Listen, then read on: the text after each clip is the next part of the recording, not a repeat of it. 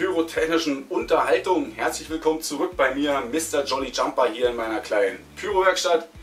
Und heute geht es darum, ich möchte euch gerne mitnehmen auf eine Reise, eine Reise zur Verwandlung von einem Weihnachtsbaum in einen Pyro-Weihnachtsbaum. Und zwar geht es heute darum, welches Werkzeug brauche ich, welche Artikel nutze ich und wie halten die Artikel vor allem an dem kleinen Bäumchen. Also wie befestige ich die Artikel an unserem kleinen Pyro-Weihnachtsbaum. Das seht ihr in dem Video, also bleibt dran, denn das gibt es gleich nach dem Intro.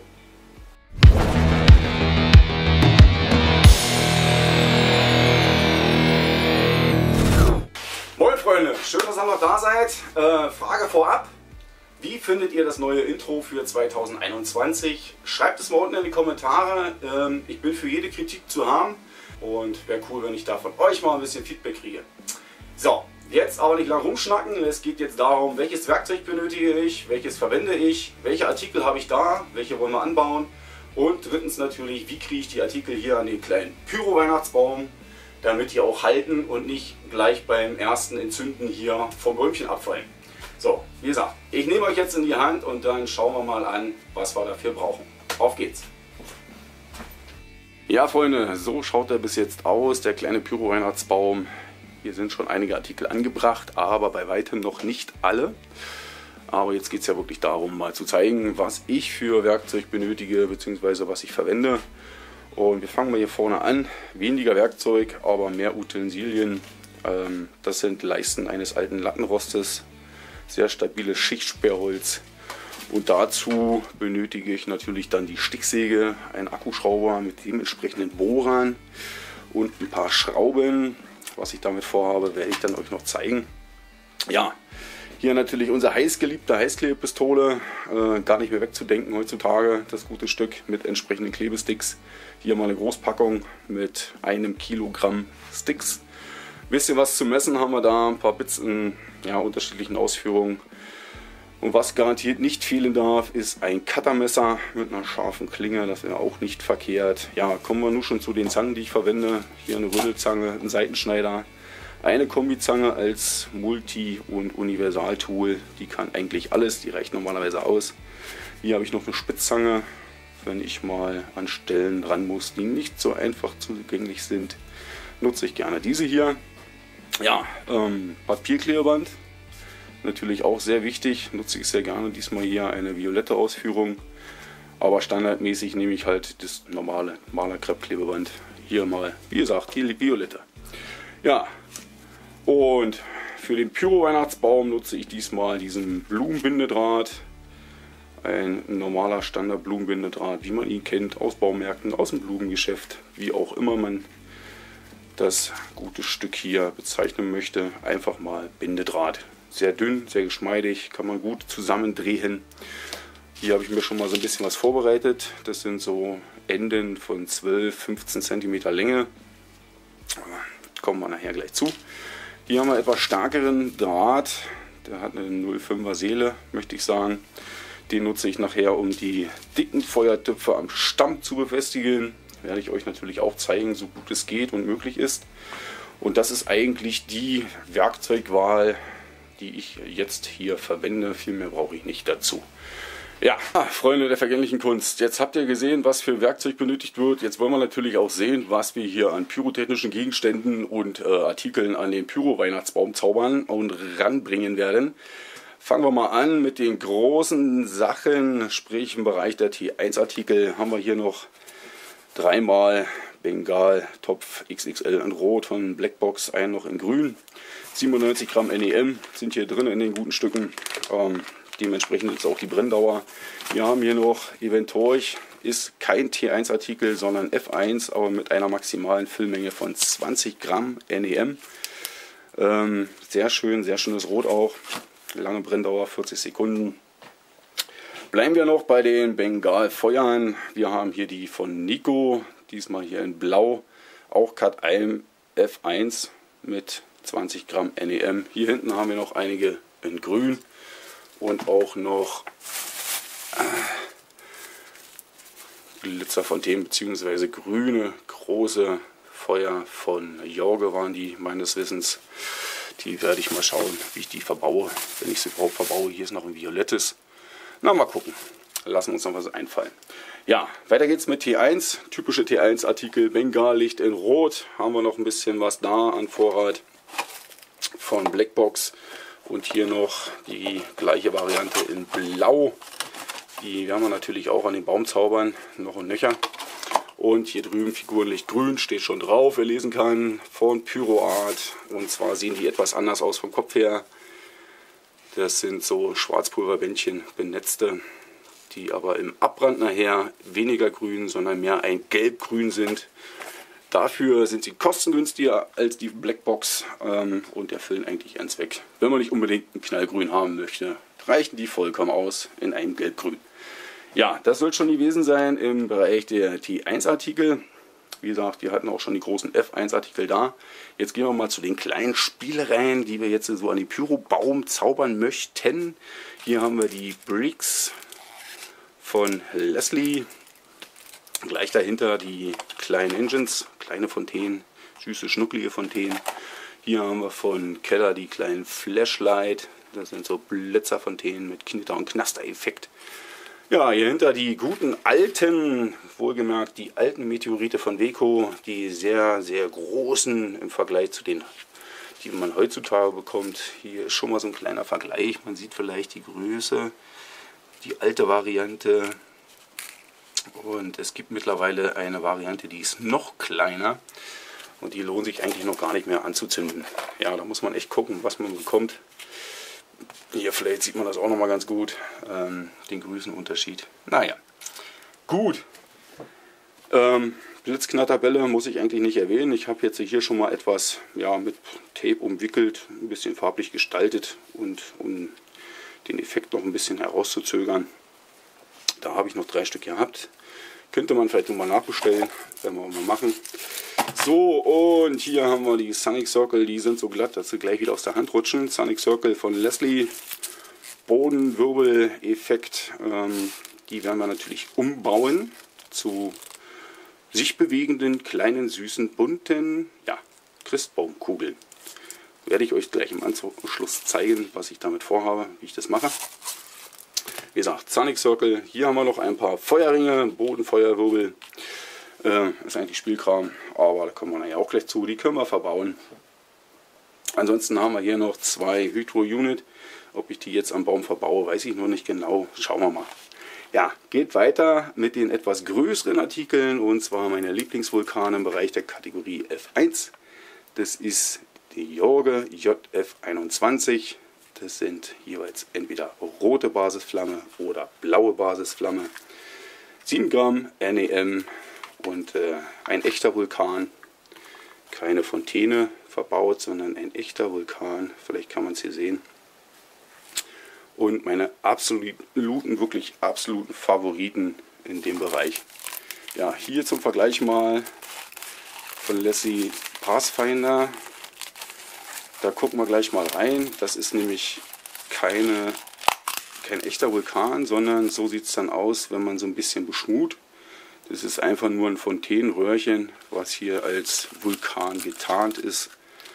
Ähm, ja, leicht herauszufinden, wenn man hier mal so reindrückt, dann merkt man sofort, ob es ein Vulkan ist oder eine kleine versteckte Fontäne. Weil das ist bei denen hier so gut wie unmöglich. Also da kriegt man nichts gedrückt. Kleiner Tipp am Rande. Ja, was brauchen wir natürlich noch? Wir brauchen natürlich jede Menge Litze zum Verleiten. Hier im Hintergrund haben wir die Litze von Warno in Rot und in Gelb.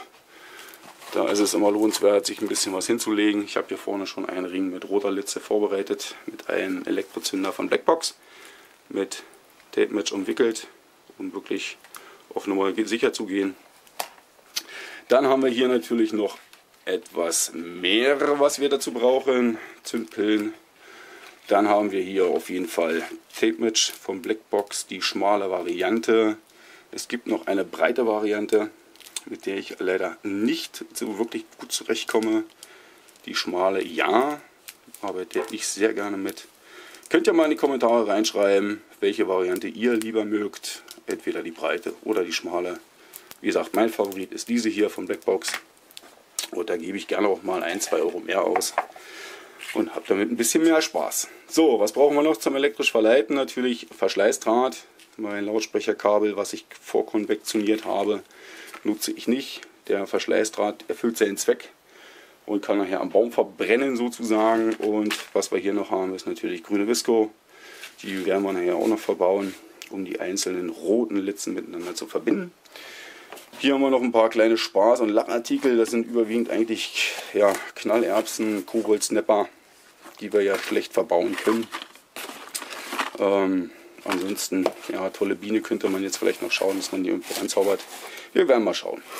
Ja, und natürlich die Pyrofire Funktionsanlage, die werden wir auch benötigen, um die ganze Sache dann in die Luft zu jagen, wie ich mal so sagen möchte. Gut, das soll schon so gewesen sein. Ist, äh, naja, auf den ersten Blick nicht wirklich viel, aber wenn man so die Fülle der kleinen Artikel nimmt und was man so alles an den Baum zaubern kann, dann ist es doch schon eine ganze Menge. So, und als nächstes geht es jetzt los. Wir werden mal uns eins, zwei Bengallichter nehmen und die guten Stücke an den Baum zaubern. Und wie ich das mache, das zeige ich euch gleich. So, auf geht's. Und danach, danach werden wir uns mal bewegliche Christbaumkugeln aus den Sonic Circle basteln. So. Ja, Freunde, so, ich habe mir jetzt hier ein Bengallicht in Rot genommen. Ähm, das werden wir jetzt hier auf diesen kleinen Ast mal anbringen. Und wie ich das mache, das zeige ich euch jetzt. Heißklebpistole ist warm. Da mache ich mir jetzt hier einen schönen Klecks hinten am Rand. Dann noch einen in die Mitte. So, und dann drücke ich mir das hier mal so rein.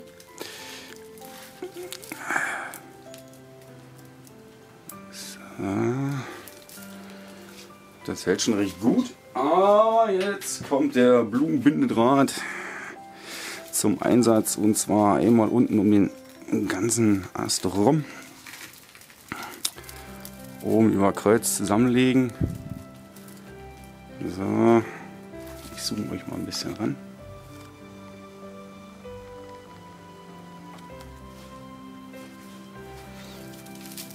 Über Kreuz hier zusammenlegen. Und dann wird das Ganze hier einmal vorgezwirbelt von Hand. Dann nehme ich mir jetzt mal die Kombizange.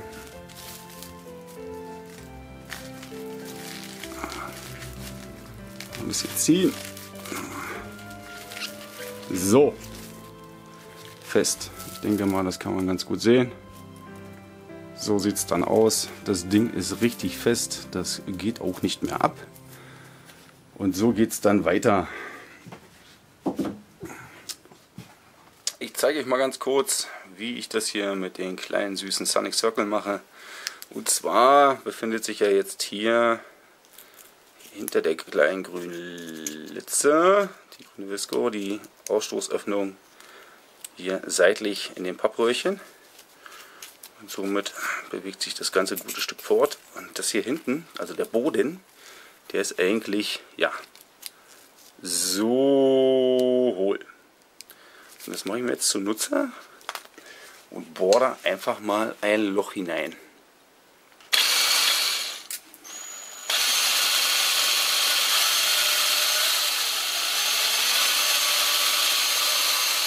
Zack. Dann nehme ich mir mal wieder meinen feinen Blumenbindedraht, stecke den jetzt hier so durch zwirbel mir den hier einmal rum. Zack. Da hängt er. Fein aufgezwirbelt. So, dann etwas gebogen. Und so sieht das gute Stück dann aus. Und kann somit natürlich auch an den Baum gehangen werden. Und ich bin gespannt, wie das nachher ausschaut.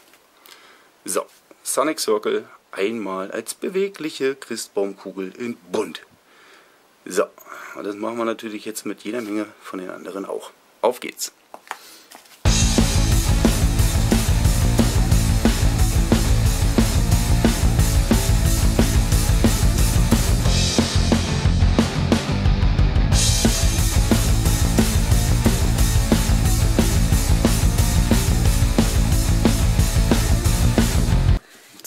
das sind ja 2, 4, 6, 8 Stück.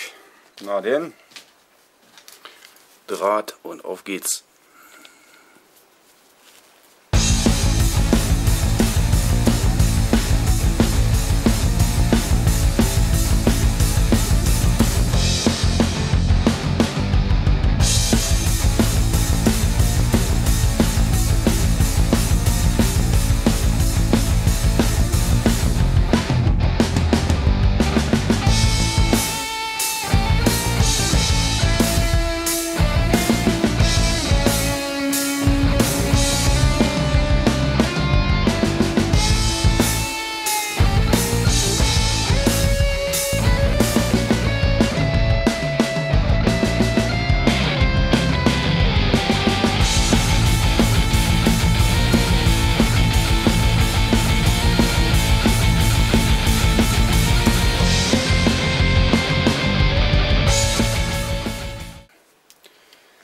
Zack.